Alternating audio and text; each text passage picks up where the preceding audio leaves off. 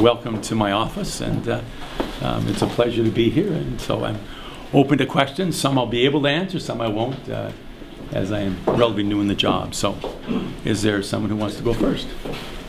Well, what's your pri, what's your priority? Ed?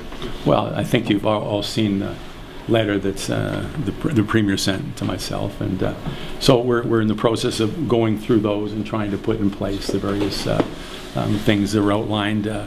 We're putting in place the, the governance model, um, the uh, decentralization, the looking at how we can deal with mental illness and drug drug addiction, and the challenges of uh, continuing care. So we'll work through each of those, but it's you know learning the process, learning the people, and trying to figure out where the other things are in the building. So On the governance model, are we going away from the, uh, do you do you anticipate going away from the super board kind of idea?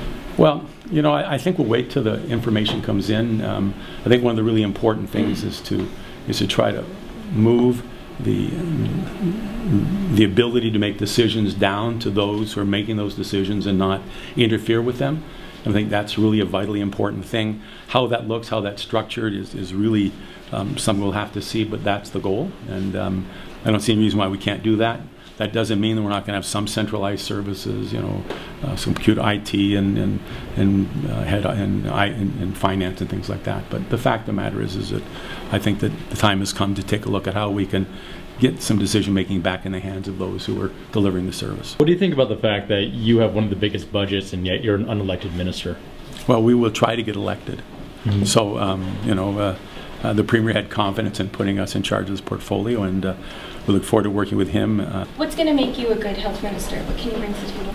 oh, I, uh, the guy upstairs in 307 says I'm doing a good job. That would be one big step. Uh, I think personally, I have to feel I'm doing a good job and that we're accomplishing the things that we set out to do. And I think I can, as an individual, uh, know that uh, uh, I'm satisfied with it. Um, you know, when I was mayor, it wasn't what other people thought; it's what I thought. And if I believe I'm doing the right thing and we're moving down a path that's going to be successful, I have to stay on that path. And if there's some criticism, we'll deal with that.